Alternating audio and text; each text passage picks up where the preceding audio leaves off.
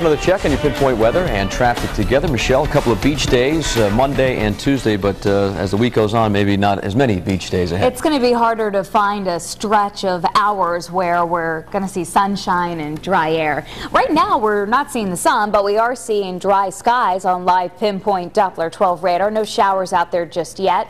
What we do have this morning is some fog. Now, my top weather headline, the shower threat is going to build with each passing hour today, and I think the best chance of seeing the wet weather will come in the late afternoon and evening hours. And it's during the evening and first half of the night where we'll have some heavier downpours possible.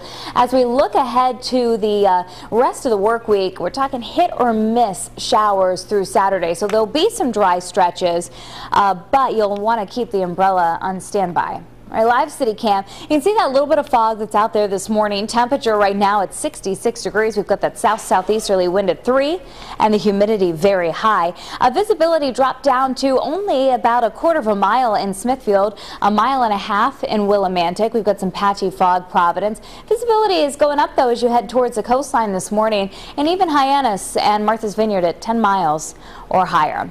Uh, we are muggier and warmer this morning. 64 Smithfield, Coventry. We were in the upper 40s yesterday morning in Taunton, now 64. 67 in New Bedford and about 62 in Westerly. I want to show you the satellite and radar together though because you can see where the clouds are heading our direction. We may see a little peek of sun once the fog thins out, but these are thicker clouds off to our west and scattered showers and thunderstorms as well. And as this slowly inches towards us, our chances of getting the wet weather will go up. Futurecast then for this morning. Patchy fog 65 to 73 under mostly cloudy skies. This afternoon, notice I still have us dry, maybe even a little bit of sun at 1 o'clock, and then those showers move in as the afternoon goes on.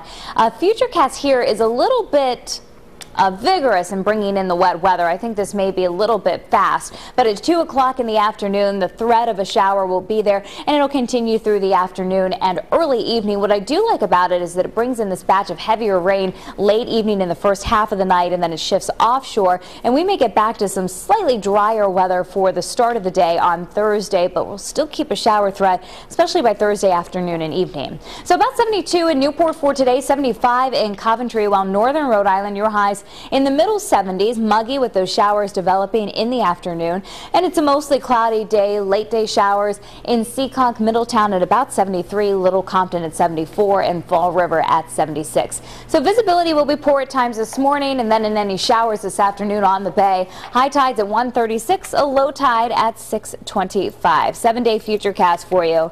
Uh, well, we do have that uh, slow moving storm system continuing to impact our area right into Saturday. I think the best chance of showers again next three days. Still the threat of a shower Saturday, but it looks drier Sunday with more seasonable